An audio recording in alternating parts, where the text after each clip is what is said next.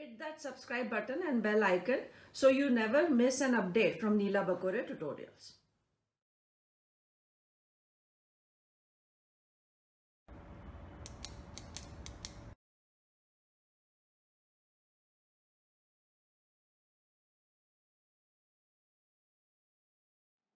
In the previous part, we talked about the basics, what exactly is ecological succession, how it takes place and what exactly happens when the species uh, invades a particular area and why would that particular species would get replaced. Now here we will take up the steps of ecological succession irrespective of which place that is. That means whether it is taking place in a dry condition or in water body. The first play, uh, first step is called nudation. Nudation is formation of the area where the succession is going to take place. Now that area can be the lava which cools down or a forest which has been destroyed because of fire. So any area that is formed, that means now the area is available for the succession to start. Second step is invasion. The living organism has to invade this area. So this is entry of the pioneer species. And what exactly enters here are either seeds or spores. So entry of seeds or spores of that pioneer species would be the ones which would first enter this place. What will happen when they enter here? They will establish themselves, they'll start to reproduce. That is known as aggregation. Aggregation means adaptation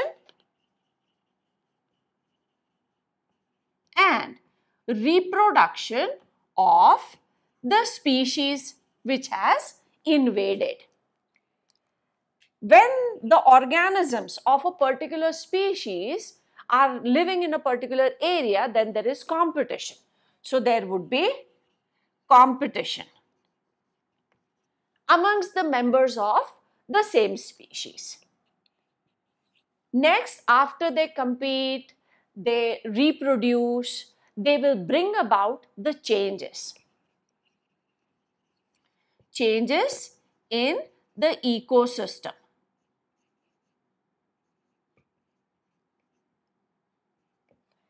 These are the same changes which will result into making the environment unsuitable, unfit for the existing species but more suitable for the next one. So, the changes, the changes become unsuitable for existing species but more suitable for the next. So now if these changes are brought about, that means the conditions are going to change. Next species will invade. That means from step number 5, it will again go to step number 2. So next species invades in the form of spores or seeds. That species adapts itself, reproduces, aggregates. Then there would be competition among, amongst themselves. Then they will bring about the changes which will become unsuitable for them but suitable for the next. Then the third species will invade. So this cycle will go on till the last step is reached which is called climax community. Climax community is the one which is able to tolerate, withstand all the changes brought about by the other species, the ones which previously existed and by themselves. Tolerate changes brought about by themselves and other species. Such a species will be termed as the climax species or climax communities. So these are the steps and from 5 to 2 this is going to go on and on and on till the climax community is reached. So whether we talk about hydrosere, hydrarch condition, xeric condition, the same steps will be followed. So if we take the example of say xerosere, that means succession taking place in a dry area where there is no soil, no organic matter, no water. And the area that we take is say cold lava. This is the place where the succession is taking place. So what is going to happen first? First is going to be the formation of the place where succession is going to take place. So let us say this is step number one. The lava has cooled down, nudation has taken place, the place is formed. Now, there would be invasion. So invasion in case of this particular place would be of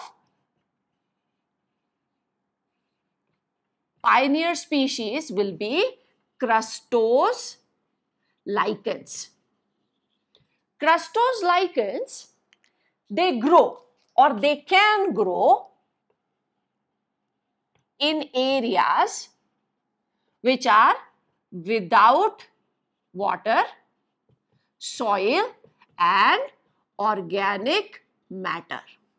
So this place is perfect for crustose lichens what will happen? They grow there, they have invaded, they reproduce, they aggregate and now there will be changes. What are the changes brought about by the crustose lichens? Dead lichens, crustose lichens result into organic matter. Their waste breaks the lava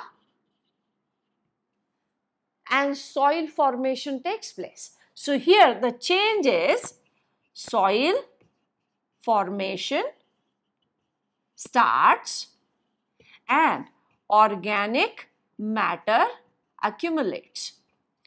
This change is unsuitable for the pioneer species. So now they are replaced by foliose lichens. Foliose lichens can live in little bit of soil also. They will be replaced by fruticose lichens. They can live in little more soil. When they die, organic matter gets added, more soil formation, replaced by bryophytes Bryophytes bring about changes, more soil formation, more organic matter, replaced by pteridophytes. And after this, it is going to be the uh, evolved, more evolved plants like gymnosperms and angiosperms. And they normally form the climax community.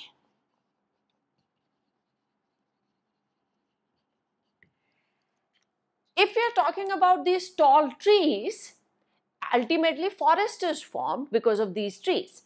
Which kind of forest would depend upon the rainfall. If there is plenty of rainfall or too much of rainfall, it may result into formation of rainforest, evergreen forest, sometimes deciduous forest. So this depends on the type of the rainfall. But climax communities form. So in case of a xerosere, that means where there is nothing, no water. If succession starts here, then the pioneer community is crustose lichen followed by foliose lichens, then fruticose, then bryophytes, pteridophytes and gymnosperm, angiosperm. So these are the climax communities. So pioneer is crustose, climax is forest, angiosperm, gymnosperms and all these intermediate communities are called the seral communities. So these are seral communities and this is the climax community. So this is how succession takes place if it has to take place in a dry xeric condition. So we know the steps also and now we know the pioneer species, the seral species and the climax community in a xerosere. In the next part, we'll talk about hydrosere.